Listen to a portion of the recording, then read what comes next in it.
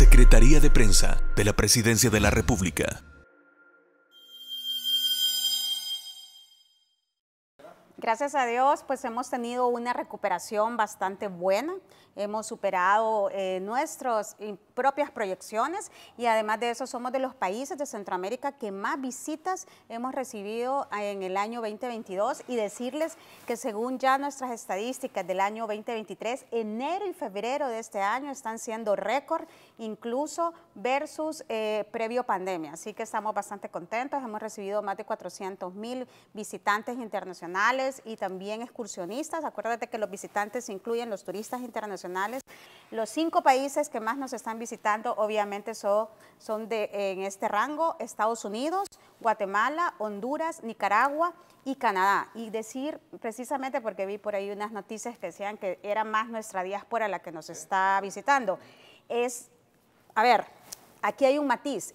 Es nuestra diáspora, pero no nuestra diáspora que se fue, sino que yo te lo he venido diciendo siempre en, todo, en todos los últimos meses del año 2022. Es nuestra diáspora, hijos y nietos de nuestra... Exactamente. La diáspora y nueva generación. La diáspora que ya vienen con pasaporte estadounidense primero y vienen con sus amigos de otras nacionalidades. Por eso nos han aumentado precisamente eh, las otras nacionalidades residentes en Estados Unidos y precisamente también nos han aumentado, veíamos una tendencia a la alza para este mes de enero y febrero y en el año 2022 de países de Europa que antes había precisamente ya no nos visitaban, países como Alemania, eh, también exactamente como España, que, han mejorado muchísimo eh, precisamente la recepción de los visitantes. Obviamente esto ha sido gracias a la estrategia de seguridad. Cuando me preguntan a mí por qué eh, vemos este, esta alza en el ingreso de turistas internacionales, pues la mayoría dicen que es por el tema de seguridad y obviamente toda la estrategia de Surf City que se ha tenido. Ok,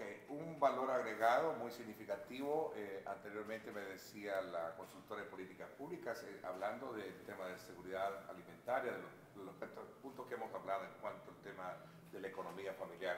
El tema del turismo también representa un hito importante en esto, ¿cierto? Así es. Bueno, hay un crecimiento comparado con el año eh, anterior, es muy significativo en materia económica.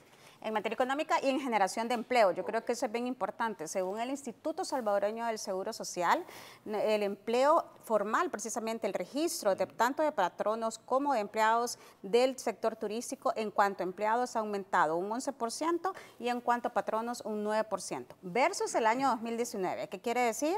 Que estamos teniendo más empresas que se están registrando y que están registrando más empleados en el Seguro Social. Y eso nosotros calculamos que significa alrededor de más de 300 mil empleos entre directos e indirectos. ¿En dónde se está invirtiendo más? En alimentación, restaurantes, cafeterías, eh, todo lo que tiene que ver con el servicio también a domicilio de alimentación. Lo, decía tu invitada anterior, todo el tema de, la alimentación importantísimo. Eso viene una cadena de valor atrás, por ejemplo, en todo este rubro de alimentación.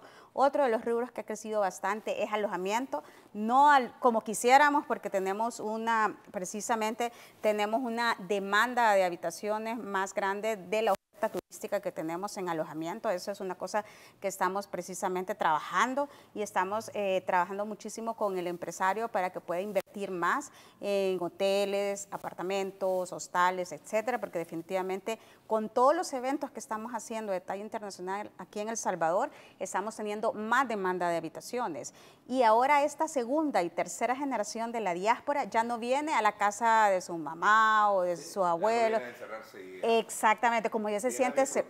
y viene al... más abierto en su mente de poder disfrutar más que estar el factor nostálgico que a lo mejor tendríamos nosotros de venir a estar con mamá, papá. Exacto. Entonces vienen a precisamente y a todos los destinos que se han precisamente promocionado y posicionado a nivel internacional, por ejemplo Surf City, los volcanes uno, es uno de los sitios más visitados, el centro histórico es el segundo lugar más visitado después de nuestras playas, es decir, todos nuestros sitios turísticos también, tanto naturales como recreativos, como sitios culturales, son los que más nos piden precisamente en nuestras redes sociales. Esto es importante, que El Salvador ya no está visto o ya no se posiciona con esas malas noticias que teníamos antes, sino que con estas buenas noticias y con nuestros destinos turísticos. precisamente porque el factor de seguridad es indispensable, ¿no? O sea, sin seguridad no hay turismo. tener los indicadores eh, mejorados hoy en día gracias al toda la política de confrontación que se ha tenido ha sido eh, muy benevolente para lograr eso. No, ha sido básico y precisamente eh, eso es una de las cosas que más dicen y obviamente el presidente es nuestro mejor embajador en cuanto a la imagen del país. Todo el mundo quiere conocer al presidente, todo el mundo cada vez que viene dice el presidente de ustedes lo queremos para nuestros países, sobre todo la región latinoamericana. Justamente nosotros eh, estamos ayer eh, en un foro regional de seguridad vial que por primera vez se hacía en El Salvador y aquí no solo gente de la región latinoamericana nos decían que admiraban al presidente, sino que gente proveniente de otros países de Asia, eh, obviamente también de Europa, y nos decían que admiraban las políticas que se habían hecho y obviamente esto sirve para que nos escojan como sede de eventos o de congresos internacionales. Esto, en esta semana hemos tenido precisamente este foro de seguridad vial, la próxima semana vamos a tener el encuentro de Toyota, se llama, que vienen varios de, eh, pilotos a hacer carreras precisamente aquí en El Salvador. De, ya no se hacía desde previo pandemia, entonces van escogiendo El Salvador como esa sede porque están escuchando sobre El Salvador, sobre precisamente lo que se está, se está haciendo. Y no solo vienen al foro o no solo vienen al evento, sino que nosotros les estamos acompañando y les estamos mostrando nuestras olas, nuestros volcanes, les estamos también degustando nuestro café, que es otro de los productos turísticos que más eh, de verdad buscan, dicen que quieren ir a una finca de café, a ver cómo se hace el café, porque el sabor de nuestro café es uno de los mejores a nivel mundial.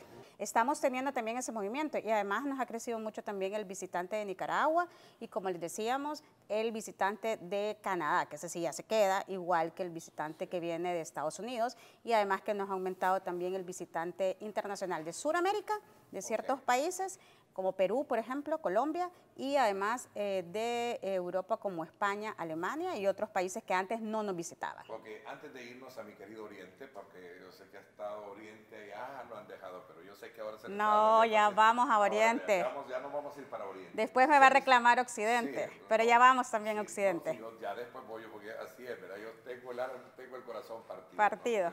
A ver, seis campeonatos de surf seis campeonatos de surf, así que vamos a estar bastante ocupados desde la cartera y todo el gobierno del presidente. Sí, en mayo empezamos con el longboard eh, de la ISA, que es la Federación Mundial de Surf.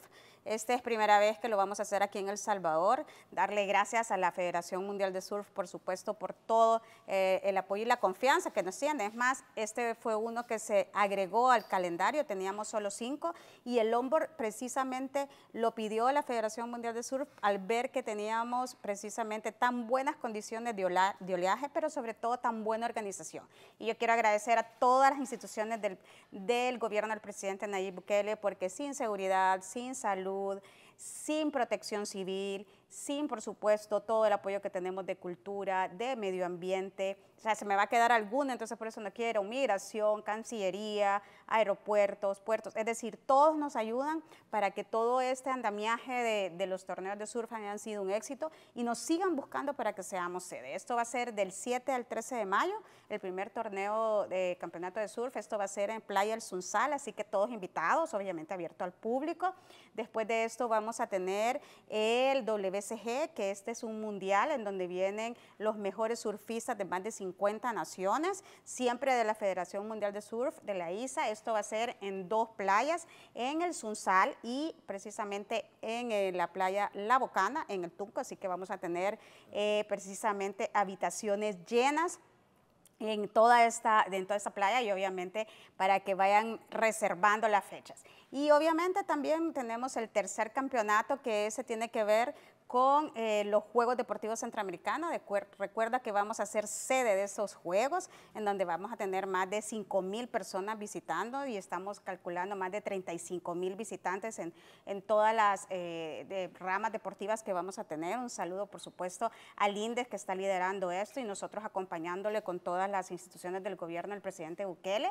El cuarto va a ser precisamente el CT ya de la WCL, que este es un campeonato campeonato específicamente de, la Liga Mundial de Surf, que esta ya es privada, y aquí vienen los mejores surfistas del mundo, la élite, a competir, y luego tenemos un longboard eh, también del CT, que es donde también este es una competencia privada, y terminamos en Oriente, esperamos ya sea, todavía estamos escogiendo eh, la playa, si va a ser Punta Mango, Las Flores u otra de Oriente, con el latinoamericano de surf. Así que vamos a estar bastante ocupados. Ok, vámonos a Oriente ya. El, eh, Oriente tiene las, dicen, no lo sé, no, no soy surfista, me gustaría hacerlo, ¿no? Eh, vamos, pero nunca es tarde, así que podemos intentarlo. Ajá. Una, vez, una, vez, creo que hicimos una, una especie de reto. Sí, sí, no lo hemos cumplido. Antes, de, antes de este año tiene que ser. Tiene que ser. Voy, voy, a, voy a tratar la manera de agarrar. Antes que termine el año. Ajá. Fuerza, valor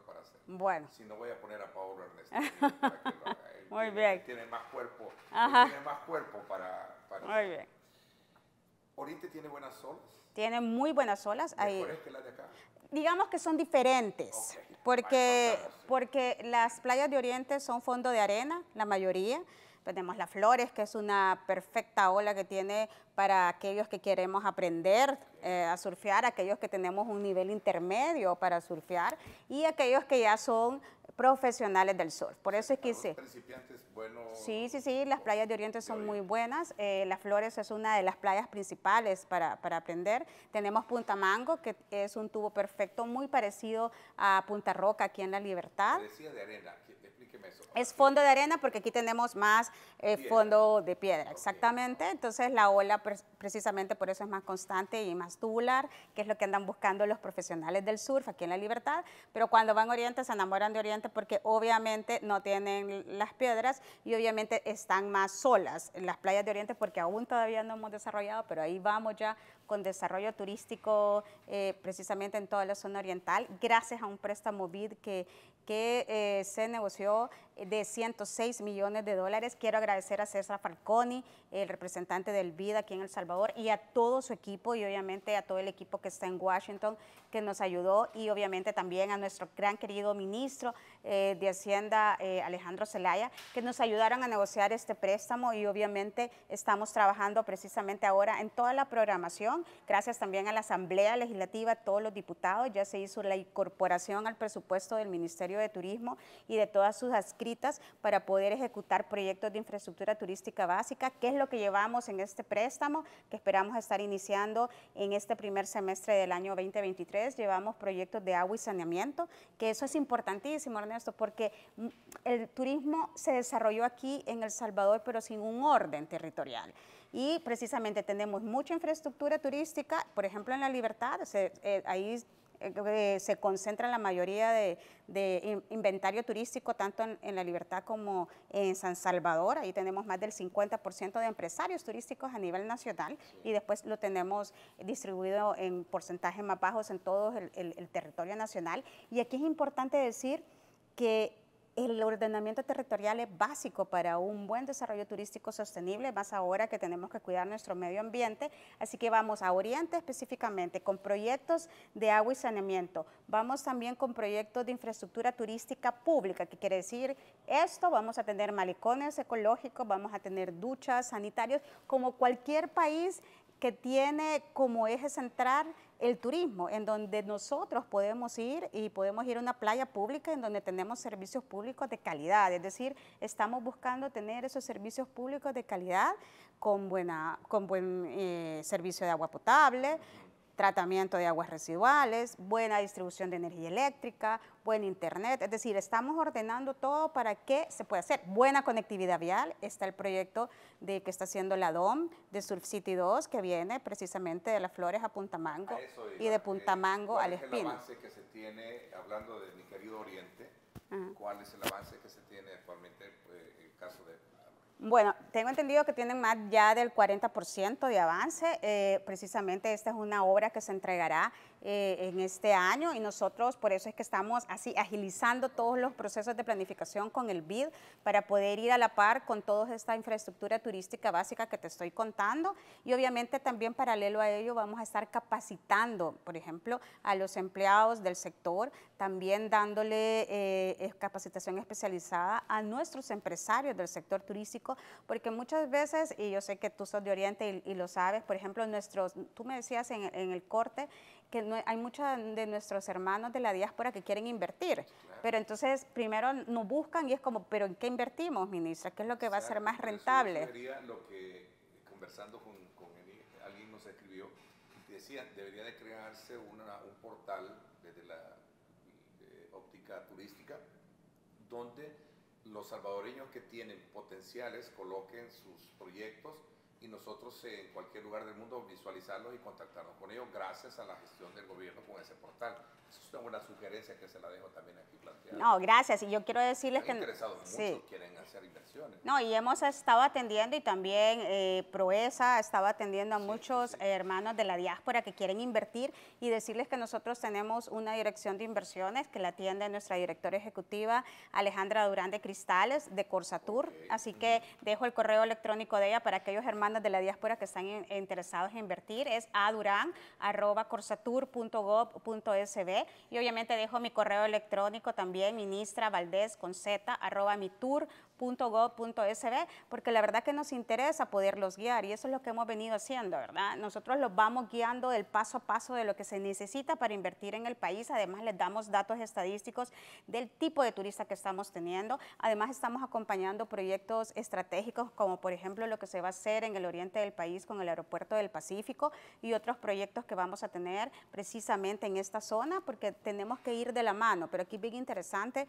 precisamente este andamiaje que se está haciendo en el oriente del país y yo de verdad cuando me preguntan a dónde está el futuro del Salvador en el sector turístico, yo siempre dice, les digo, vean Oriente. Obviamente, sin descartar todas las otras zonas del país, justamente ya estamos negociando otra, otra, otro programa para el occidente del país en donde tenemos que hacer refuerzos precisamente en la Ruta de las Flores, en la zona costera de la zona occidental y obviamente también en la zona central estamos trabajando paralelo en toda la zona de la Costa del Sol y obviamente toda la parte de montañas que tenemos en Chalatenango, y Morazán y todo lo que tiene que ver con la industria del café, que es un agroturismo que tenemos en Occidente, en, la zona norte del país y por supuesto en la zona oriental del país. Así que no nos hemos olvidado de nadie, solo que vamos precisamente por fases y trabajando paralelo. No se puede quedar bien con todos a la hora de hacer una valoración de esa naturaleza, pero sí sé que hay un énfasis de esa naturaleza. Por ejemplo, alguien acá me pregunta, no hay que olvidarse de San Salvador también. Eh, precisamente. es un lugar que tiene, tiene tiene mucho que mostrar, ¿verdad? Tenemos eh, grandes, eh, digamos, zonas, por el caso muy específico, la recién apertura que ha tenido Plaza Presidente, que es parte del grupo eh, corporativo de Megavisión, y de la familia Megavisión y todo, que, es un, que, es una inversión tremenda, ¿no? Es una, es una plaza que tiene nada que envidiarle a un mall, a un centro comercial de otro, de otro, de otro país, ¿no? Tenemos un centro histórico también. Tenemos un lago, ¿qué? el lago de Ilopango. 15 minutos. La ruta panorámica.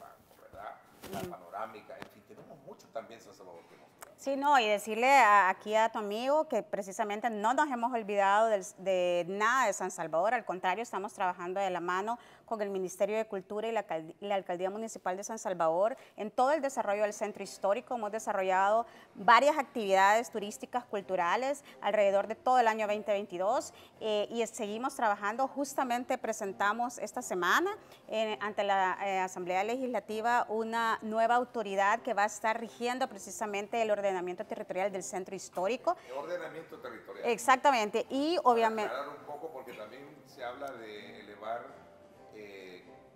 llama? Tributos. Por, Nada que ver. Pero también hay incentivos, ¿no? Ah, sí, perfecto. Bueno, que nosotros estamos trabajando de la mano con la Alcaldía Municipal de San Salvador, como decía antes de irnos al corte, y precisamente con el Ministerio de Cultura también trabajando de la mano para la revitalización del centro histórico. Felicitar al alcalde Mario Durán y a todo el equipo de la Alcaldía Municipal de San Salvador y a todo el equipo de todo, eh, de todo el centro histórico, porque hay un equipo especial que está haciendo esta revitalización, porque la verdad ha sido un éxito. Nosotros los hemos venido acompañando, pero no pudiésemos haber hecho todas estas actividades turísticas culturales que hicimos en el año 2022 y que seguimos haciendo en el año 2023 sin el ordenamiento que han tenido, sin, el, sin despejar las calles, con lo, lo que tú dices, o sea, esto Bueno, hay muchas personas que han venido, dice yo antes caminaba aquí, bueno, me mandan en, redes sociales muchas personas nostálgicas y decían, yo aquí trabajé en el telégrafo, yo aquí trabajé en este, en, este edificio y recorrerlo me trae buenos recuerdos y enseñárselo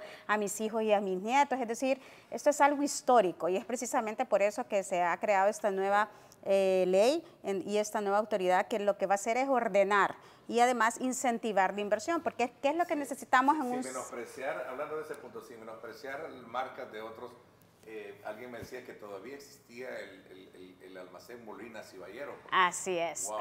así. Yo, sí, de ahí es donde yo llevaba, mi madre, mi padre nos llevaban a comprar los estrenos, ¿no? No, así es. Así que de verdad es nostálgico. Nueva autoridad del centro histórico. Así es va a haber eh, incentivos para quienes se establezcan remodelaciones, pero también entiendo eh, se van a cobrar más tributos. No, y, yo creo que es bien importante aclararlo. Justamente lo que vamos a hacer es facilitar los trámites de inversión, porque precisamente lo que tú decías, tener una ventanilla única, ese es el gran plus que va a tener esta autoridad. Obviamente la Asamblea Legislativa, tengo entendido que ya este lunes está estudiándola en la comisión, en una comisión eh, especial, y precisamente nosotros estaremos yendo a, explicarles qué es lo que eh, se pretende. A ver, nosotros, y aquí es bien importante decir, hemos tomado también experiencias internacionales. Bueno, no sé si, tú conoces Lima, pero también hizo una revitalización del centro histórico, la Ciudad de México, también y tienen específicamente oficinas especiales porque tiene que dedicarse a esto. Yo creo que es bien importante decir que vamos a ser más exitosos cuando nos concentramos y nos enfocamos. Y eso fue lo que hizo el presidente Bukele.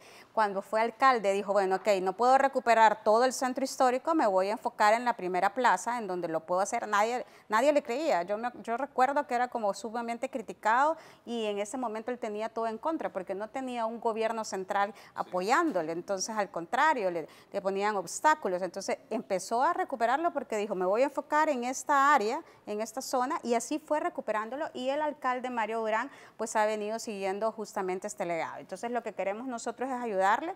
Esta, esta autoridad va a ser eh, una adscrita al Ministerio de Turismo y obviamente va a estar compuesta también por el Ministerio de Cultura y la Alcaldía Municipal de San Salvador. Y ahí lo que se pretende es poderle facilitar todos los permisos, si necesita de vivienda, de medio ambiente, de ANDA, etcétera, al inversionista, porque son de las primeras cosas que te piden precisamente, facilitación de trámites de permisos. Y obviamente va a haber incentivos, que eso ya se va a estudiar en conjunto con la Asamblea Legislativa para poder hacer que los inversionistas también digan, ok, voy a invertir en este hotel, pero qué incentivos fiscales me están dando eh, en retribución de ustedes. Y eso se hace precisamente en los países y en, en, este tipo de revitalización de centros históricos, a la hora de ordenar. Pero precisamente se trata de poder facilitar los trámites para una inversión, ya sea de alojamiento, yo siempre digo que este es uno de los rubros que más necesitamos en el país, de alimentación, de transporte turístico, que es otro de los rubros que también necesitamos bastante en el país,